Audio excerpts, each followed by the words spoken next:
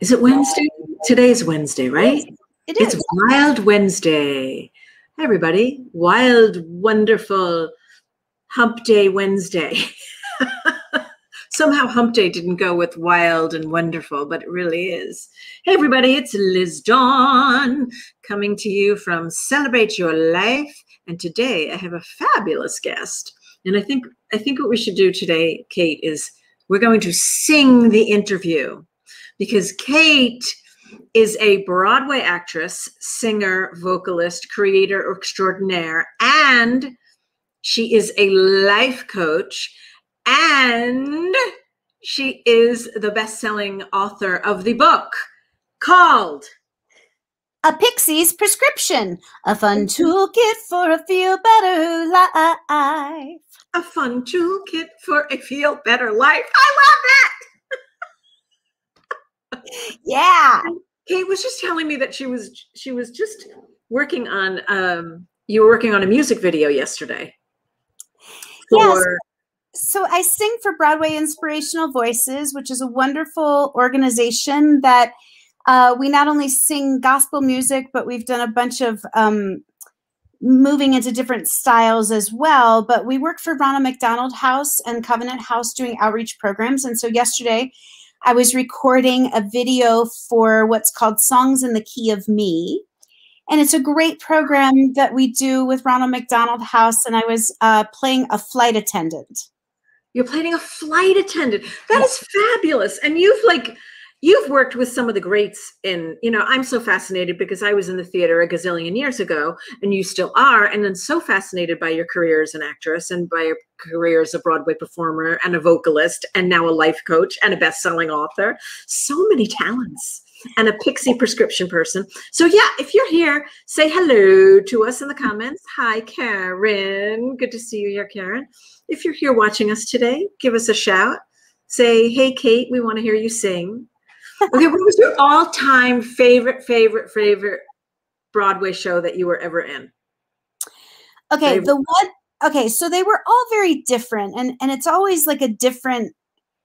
It's so funny because sometimes the time that the shows came out would make the shows a different experience than you know uh-huh. if I did it at a different time, right?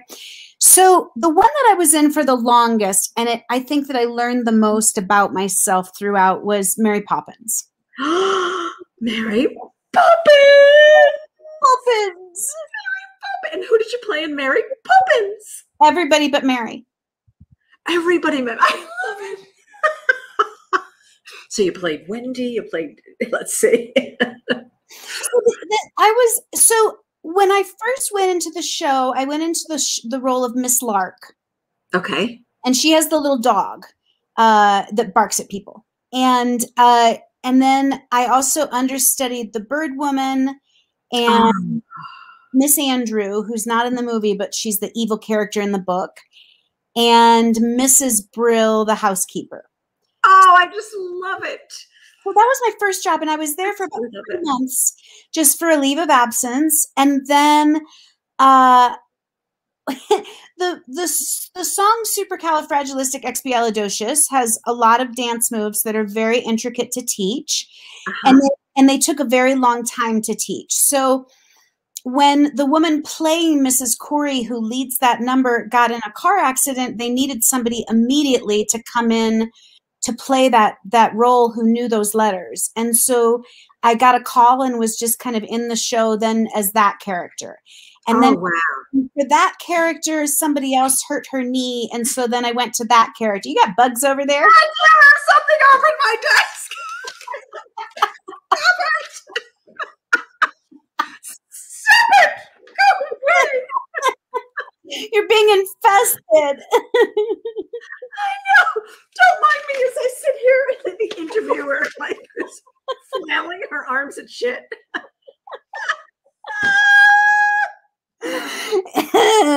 I, don't, I don't want you to be in danger there. Are you okay? totally good now. If it comes back again, you'll see. I was trying to be so subtle. it was, it was getting, it was getting more frantic. Only with you, Kate. okay, but let's talk about the Pixie's prescription? Okay. So at my end of the contract of Mary Poppins, I completed a 100 pound weight loss. And it, yeah, and it's sort of. Wow. Well, well, let's take that in for a second. You completed, that's a person. Uh, yep. That's amazing. It was a really interesting two and a half year journey. It was a really, it was a really long journey. Um, somebody asked why are we laughing? Because um, Liz was being infested by bugs. He's okay. It was, and I was trying to be very subtle and wave the bug away, and then the next thing you know, I was like, I was wrestling with this little teeny tiny bug flying in my face. right? yes. Okay, so let's go back to the 100 pound, 100 pound weight loss. That's yeah, amazing. Yeah. So, okay. but but so it sort of destroyed my Broadway career. It's it destroyed your bro. Oh, because you were I was a type. You were a type. You were this character actress, and you were playing certain roles. And now all of a sudden, you weren't that right that character anymore. Okay, okay, right. okay. And so I was in Mary Poppins for about a good year and a half as my very thin self. So it didn't affect that particular job, but I couldn't get another job after that. Um, I'm sorry, I have to remain heavy in order to work on Broadway. Is that the deal? well, apparently it did. Yes. because it hasn't happened since. We're the ingenue or we are the character. Okay, right. got it. Got right. it. Okay. And now, and now I'm getting older, which is on my side for the character. Yeah, absolutely. absolutely. But what I would really love is if Broadway would start to produce shows about more than just archetypical women. That would be really nice. Maybe we need to rate them. I am writing that. I'm working on it right now. Love it. Okay. Okay. I have many script ideas, by the way, from my days in being in theater. Well, then we should talk. We should just talk. We should just Wouldn't you? Um, I would love to know. Everybody out there listening, wouldn't you just love to write a script? Wouldn't you love to like? Why do? Because I love reading plays. Like, give me a play any day, any place, and I could just read scripts and read scripts. I just love reading scripts. Yeah, it's fun. It's reading so Pixie's prescription. So, so I didn't have a career, and I and I needed to do something. And so I went to learn to be a health coach, and then I got my master's in holistic medicine. And then uh, I wanted to write a book. And so I think somewhere in the middle of that, I wrote the book. Um, and then, uh, what yeah. it about? So tell me, what is Pixie's prescription for life about? So everybody wanted to know what I did to lose the weight and keep it off. Okay. And really what it was is I I filled my life with a lot of things that weren't necessarily food, but when it was food, I made sure that I gave myself really high quality food that my body was asking for and that would nourish me instead of anesthetize me. Got it. And um, so, like the the chapters are things about curiosity or play, or re, um, home environment, or education, or re, uh, relationships. Ooh. And so, each chapter highlights these you and your bugs. I wish there was a chapter on how to get rid of bugs. I don't know. It's coming back and it's in my face.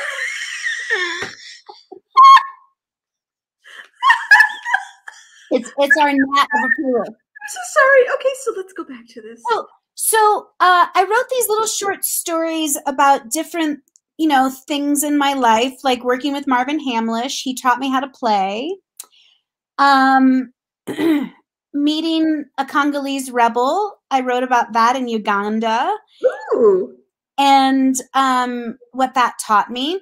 And then I also offer like little actionable practice things that you can do to keep play as part of your life mm-hmm. and to cultivate a really good sense of play that uh, works really well because a lot of times adults lose the sense of play. It's been kind of beaten out of us culturally.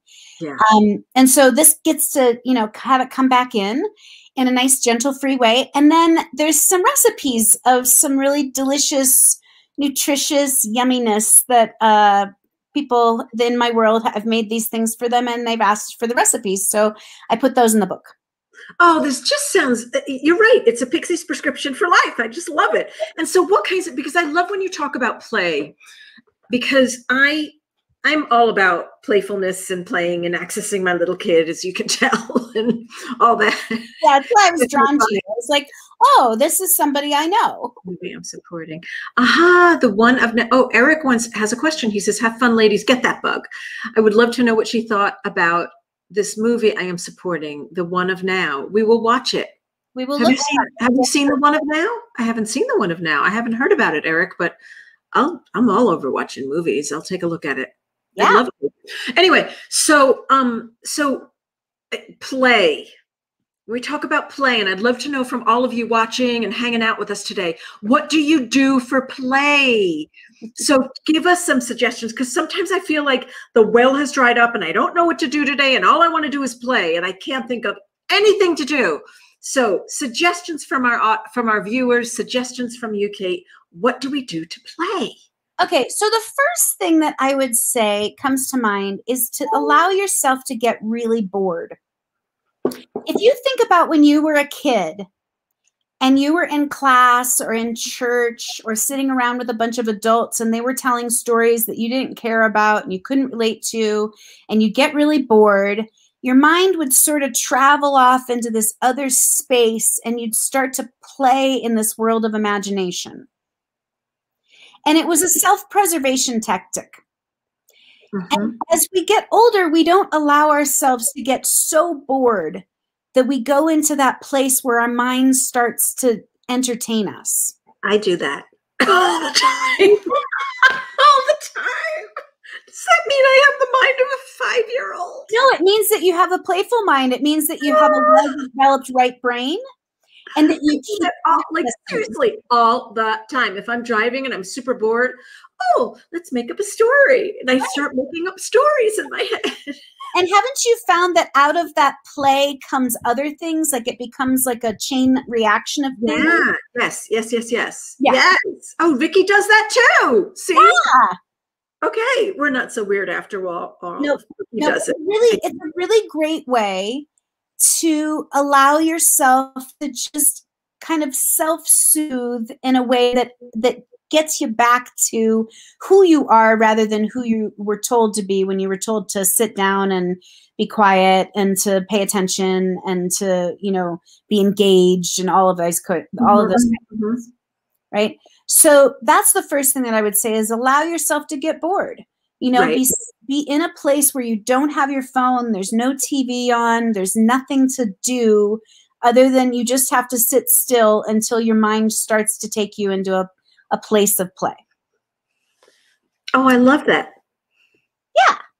So then the other thing too is if you have any animals around you just watch uh, especially young animals watch what they do with different things. Cats are fun to watch play. You can pull up cats on um, youtube and just watch cats playing. And and you can see how they're they're puzzling through like the next move and the next thing they're going to do and how are they going to solve the problem and how are they going to get the one upsmanship and how are they going to keep the game going uh, the games don't continue when somebody gets mean or somebody gets too serious or somebody gets their claws out right Right, right. that stops the game. The game continues as long as they're soft pawing each other and as long as, you know, it's all in good fun. Right. So I think that one of the things that we forget about is that really life is all in good fun. It, it feels heavy a lot of Oh, the it does. Right now it does. It sure does. And I and I know that we want to touch on being resilient today as well. So I'd love to touch on that. It's It's- all wrapped in the same thing, you know? Mhm. So when I was a, a young actress, I was very serious. I did not play at all. I was a nightmare to work with, I think. you were a thespian. Yes, a very serious equity actress thespian. Yes, and I didn't I I didn't play with anybody for any reason. I have stories that still make me cringe where I'm like, "Oh, wow, playful would have been good there." You know? Yeah. Right? and so when I met Marvin Hamlisch, uh, who wrote a chorus line and and a lot of famous songs and, I and he- played Sheila. yes, and he. He passed away several years ago, which was very sad for the world, I think, and definitely for me. And but Marvin just always had like a way of coming into the room and lifting the the vibe of the room. Mm-hmm. He, would, he had this um, fixation that he would play, like he'd play a bit and he'd keep that bit through the entire time that we were working together and he'd keep adding to it. So every day you knew that he was going to come in. Now I've got flies. Every day you knew that he was going to come in and maybe say, um, he had this thing about the musical Bajour. Have you ever heard of it? Uh-uh. No, exactly. Nobody has heard of that musical except for really, truly hardcore musical theater fans, and even they, they're like, "Oh yeah, I think Seth I listened." Rudetsky would know what it is. exactly, Seth would totally. So, um, so Bajour is just this musical that was sort of a blip on the radar, and Marvin had a fascination about doing it in Pig Latin. Oh my gosh. He's like, that, we're not going to do this musical. We were doing a musical called Sweet Smell of Success. He said, we're not going to do this one. We're going to do Bajour in Pig Latin. And so he'd come and he'd sit down at the table and he'd perform these songs that we didn't know because nobody knew Bajour, but they were from Bajour. And he would sing them in Pig Latin. Oh my gosh, that's great. Right? And then he would just leave. I love that you got to meet him and spend time with. I mean, Marvin Hamlisch, How many people in this world can say, "Oh, I spent time with Marvin Hamlisch listening to him play music from Bajour in Pig Latin"? I mean, come on. You know what? It gets better than that, Liz Dawn, because he was from my. He was born in my hometown. I was oh. not born there, but he was born there, and he was not raised there. But just randomly, he was born in a little town in Ohio, mm-hmm. and um, he he was doing a concert in my hometown at the Ritz Theater, which is where I grew up doing um, community theater. Mm-hmm. And he called me and he asked me if I wanted to solo with him. no. With Marvin Hamlisch? Yeah. Oh, that is such an honor. Yeah. Oh, that is amazing. That's that's that's like a, a once in a lifetime, like such treasured. Yeah. Oh, that's beautiful. So, needless to say, you said yes. I did say yes, and I went. Um, and it was it was it was an experience that needed resilience, and I'll tell you that. Um, three days before the concert, my father got very, very ill and went in for his third open heart surgery. Oh, wow. Okay. And it wasn't going well oh, because dear. there's a medication that he was very allergic to. And he told them not to give him that medication. And the doctors said, We know better. And they gave it to him. And it stopped his heart for five and a half minutes, which is a dangerous amount of time. Wow. And so at the time of the concert, I didn't know if my father was going to live or die. um, and I was also in rehearsal to play Mrs. Claus for the Radio City Christmas Spectacular. and I that's great. And I was under so much stress that I couldn't remember what they would teach me from day to day. So you had a lot on your plate, and you're singing with Marvin Hamlisch. It wasn't, and I wasn't digesting any of it very well, right? But what I learned in that moment, because again, Marvin was back in my life, and here I was swirling in all this stress about the show and stress about my father and whatever. And Marvin said, Come, let's have lunch. Take me to your favorite place. In my hometown, there are not very many options, or there weren't at that time.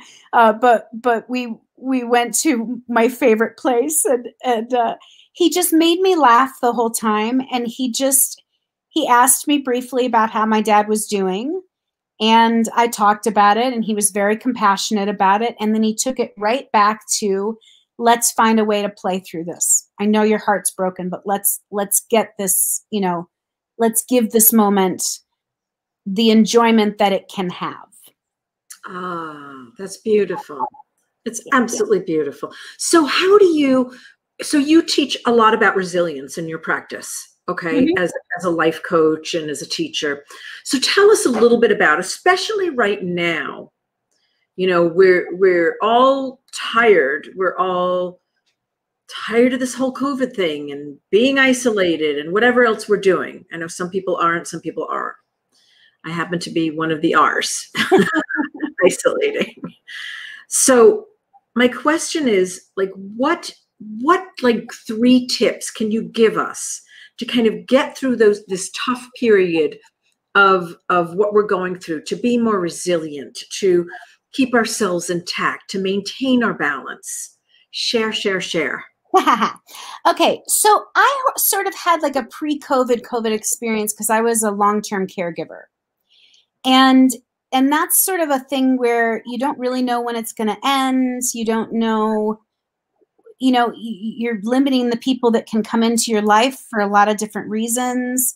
Uh, you don't get you know time off from kind of the work of trying to keep the life going that you had before it's all that stuff and i would get like little respites like this summer we had a little respite where people kind of got out and moved around a little bit more freely than we're doing right now and mm -hmm. and i saw the same kind of things happen where people were happy for it and a little exhausted by it and a little confused by how some of it maybe felt on them now after all this mm-hmm. time mm -hmm. and it's this whole mix of I don't know where the ground is underneath me.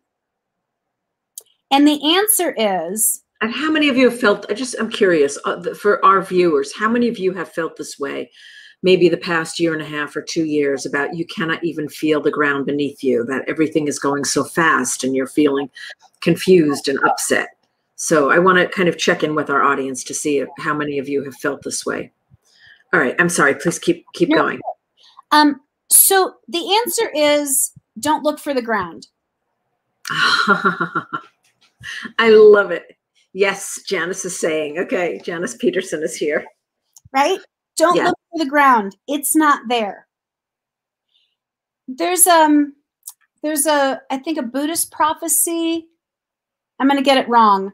Uh but it's something about um when when when the universe wants to teach you somebody something it takes your feet out from under you and then it takes the ground and then it takes something else and it's like and now we're getting somewhere.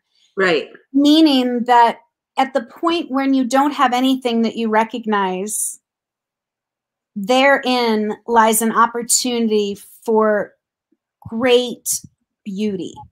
Mm-hmm. But it's hard to look at because it's something you've never seen before. And how do you get into that space of recognizing the great beauty when you're mashugana with the business is falling apart, my health, my life, my friends, my, you know, how do you, what are some tips to come through that? So a lot of it is about your gaze.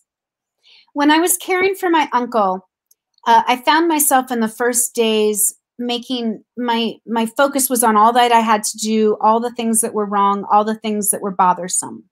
Mm-hmm. I found that when that was my focus, my days were long and heavy. And so I bought a billboard that was right outside of his window that used to face right into our the living room. This terrible billboard. And I put a piece of artwork up on it that just said love. oh.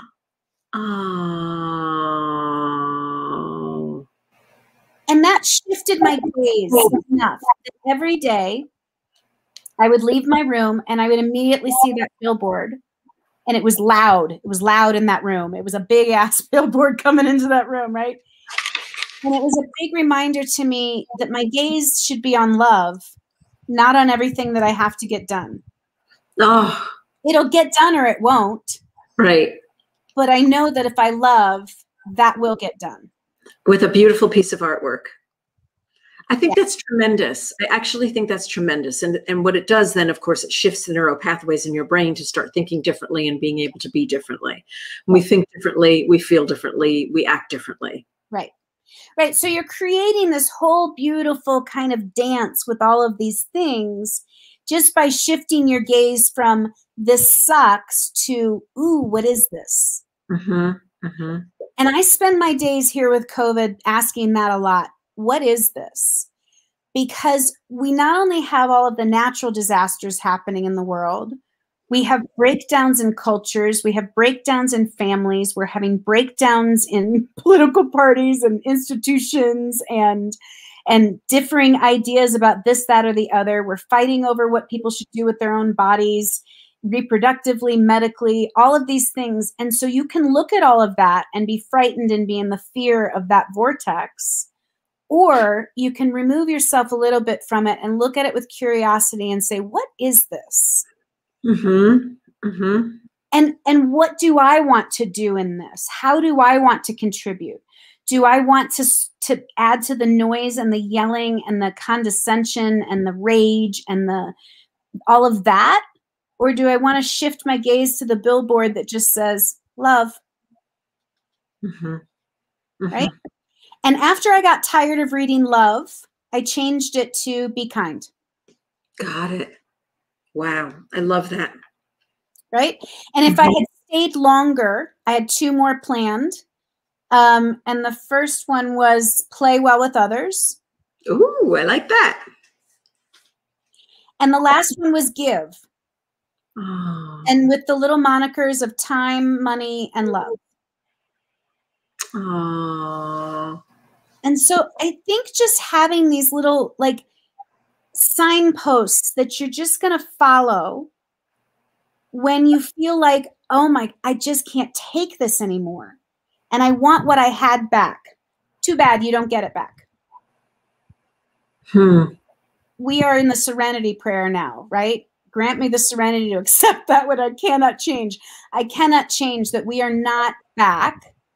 And the chances of us going back anytime soon, slim to none. And the longer that we're not there, I would say people will want less to go back because in the mystery of this moment, there are shifts in how you're going to want to live. Mhm. Well, I hope that's not true because we've got theaters to fill.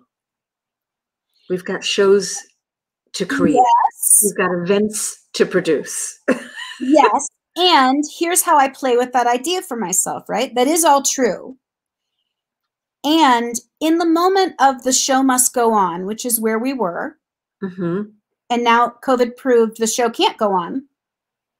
So, in the moment of the show must go on, we never had enough moments to stop and really think what show do we want to be putting up? Ah. What show do we want to be putting up and how are we going to do it now? Right. Yeah. Right. And how do we do it so that the next moment isn't saying, well, after COVID, we just went back to what was. But after COVID, there was a renaissance, there was a rebirth, there was a reimagining, there was a taking advantage of this pause and loving this pause so much that you're going to be sorry when it's over. Hmm. I understand. such an interesting concept. It's such it's a very very powerful concept. It really is. Yeah, and it takes practice. It's not easy because we're practiced it the other way, right? Right. Exactly. We're very well practiced the other way. Yeah. Vicky shared, I have two words, imagined and live a good life. I love that. Imagine and live a good life. That's beautiful. Absolutely. Now, Kate, how can people find you? I want to post your website. Yay. So uh, my website is thekatechapman.com. And it's not because I have an ego trip. It's because I could not buy the domain katechapman.com. Well, I mean, I could, but $20,000, I would have had to like take out some sort of a loan to do that. And I thought that was not a good way to do it. So thekatechapman.com I could get. So I am the one, which is good actually, because when you Google Kate Chapman, there are a number of Kate Chapmans in the world doing really lovely things. I have to say, I'm very impressed with other Kate Chapmans. Oh, good. Yeah. I have really liked what I've seen out in the world. So good, go Kate Chapman's. Yay, Um, Kate Chapman's, but But I am more right to experience more of Kate this Kate Chapman's work. Go Yes. to the Kate Chapman. Dot com Yes. and you've got all kinds of fun things that you're doing on your website and different classes and all kinds of fun things that you're I'm doing doing classes so much yet. I'm, I mean, I'm doing private classes where organizations are inviting me in to do that. So I've been doing those, but I haven't been throwing my own classes right now. Um, I am doing private coaching, and I have some limited slots, um, and and that's really so much fun. Uh, and then also on YouTube, I have a channel, just Kate Chapman, where I model really um, constant creative response. So that's that's Hmm. the thing that I run my life by is how do I have constant creative response? Um, and I didn't know that I did that until I met Liz Gilbert, and she told me I did that. Ooh. I know okay. it's so exciting. I love Liz. I know. I love her too. For my 50th birthday present for myself, and this was right before COVID, I um, took myself to a conference where she was speaking. And uh-huh. it was so that I could sing to her the song that I wrote inspired by Big Magic. Oh, that's excellent. Oh, she must have loved that. She loved it. She laughed in all the right places. Um, and it's it's one of my favorite songs in the whole world. I will sing it for you if you want. Oh, I would love to hear it. Okay, ladies and gentlemen, we are getting a performance by the Kate Chapman.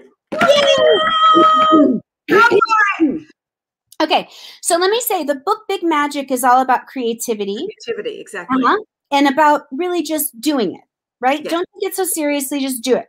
And so after I read that book, I it really helped my um, ability to play with my creativity. And I wrote this song as part of my Super Soul Song book, which is uh, what I call all the songs that I've written from watching Oprah's Super Soul Sunday. And um, and it's called Hymn Number Three, like H Y M N. And um, if you don't know what a blue-footed booby is, this is a lot of explanation that suddenly I needed to give. The blue-footed booby is a bird that lives in the Galapagos Islands and they always hatch two babies, but they only ever end up raising one. Okay. And that's because the the sibling always kicks the one out. The stronger sibling survives. Uh, okay. okay, so that's what you need to know about the song. Okay. Blue-footed. Oh, wait, hold on. That wasn't the key. One. Okay, fine. Blue-footed booby mustn't feel bad at all when a chick gets kicked out of the nest cause it's small. No, blue-footed booby mustn't feel bad at all. It's just nature's way. Blue-footed booby mustn't feel bad at all when she looks at her two chicks and thinks which one goes. Y'all, no, it gets kicked out. She watches it as it crawls away to its certain death. But hey, it won't have to be a booby for long. And it inspired this fun song. That's nice, right? Yeah. Baby creativity is like baby boobies, and you have to set some free. Maybe it's not seriously as hard as we make it out to be. Oh, Booby mustn't feel bad at all when a chick gets kicked out of the nest because it's small. No, blue footed booby mustn't feel bad at all. It's just nature's way. But hey, it won't have to be a booby for long. And it inspired this fun song. That's nice, right? Yeah. nature's way. Oh! oh my God, S, that is fabulous. I don't know that I've ever done an interview with anybody that sang that sang a song for me and that an original song, no less inspired by Elizabeth Gilbert. Elizabeth Gilbert, yeah. I love that. That is just fabulous, Kate. And on that note, everybody, thank you, thank you, thank you, thank you so much for joining us today with thekatechapman.com. Check out her book, A Pixie, no, wait, A Pixie's Perspective on Life. No. A Pixie's, it's a terrible title. I've come to realize I may change it someday, but for now, A Pixie's Prescription, a fun toolkit for a feel better life. But you have to sing the subtitle. That's what I You love. do, because I've also discovered you can't speak the subtitle. You cannot speak the subtitle. All right. So go check that out. Go check her website out. All kinds of fun things she's doing. And she does have a few slots left to be a client of hers as you're doing life coaching, which is fantastic. All right, excellent. All right, thank you, everybody, and we'll see you soon. Thank you, Miss Dawn. Bye, everybody. Thank you, Miss Kate. Thank you.